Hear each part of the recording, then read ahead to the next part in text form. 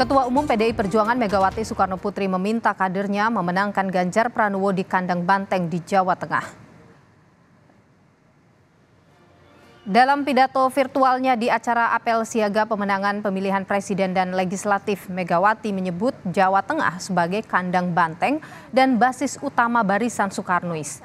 Kepada puluhan ribu kader yang ikut apel siaga di Semarang, Mega meminta mereka jadi pelopor kemenangan Ganjar Pranowo dan partai di pemilu 2024. Jawa Tengah sebagai kandang banteng dan Jawa Tengah sebagai basis utama barisan Soekarnois, saya harapkan benar-benar menjadi pelopor dalam seluruh gerak kemenangan partai dengan memenangkan PDI Perjuangan dan Ganjar Pranowo, maka komitmen terhadap fakir miskin dan anak-anak terlantar untuk dipelihara negara benar-benar dapat dilakukan.